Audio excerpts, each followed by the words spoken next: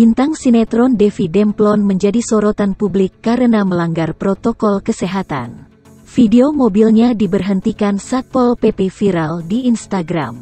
Sebab Devi Demplon tidak pakai masker. Devi Demplon membenarkan videonya tersebut. Ia mengaku mobilnya diberhentikan petugas Satpol PP di kawasan Glodok, Jakarta Barat, pada Rabu tanggal 21 Juli tahun 2021.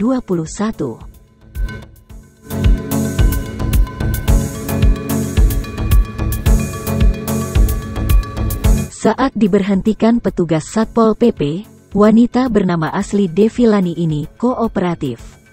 Ia bersama suami dan anak memberikan KTP saat diminta petugas.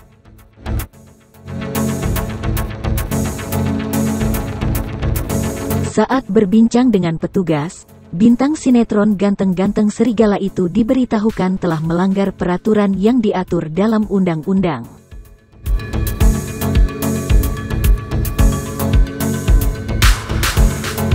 Karena memang baru mengetahui aturan tersebut, Devi Demplon pun memilih membayar denda sebesar Rp250.000.